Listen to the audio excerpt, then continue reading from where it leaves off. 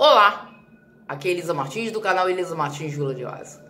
Você veja bem, de uns dias para cá, até umas duas semanas, o futebol está mostrando que soberba, falta de humildade e o oba-oba não ganha nada.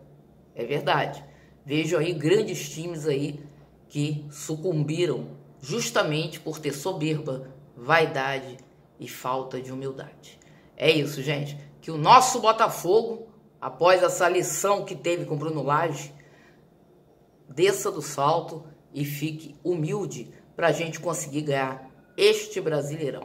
E com relação a todos os problemas que houve, que ele tenha realmente aprendido. Agora, uma coisa é certa: a única coisa disso tudo que sempre estará junto e é irretocável qualquer reclamação é com a torcida. Pedir para a torcida apoiar, isso aí é brincadeira, né? É o que mais a torcida faz, fez e vai fazer sempre.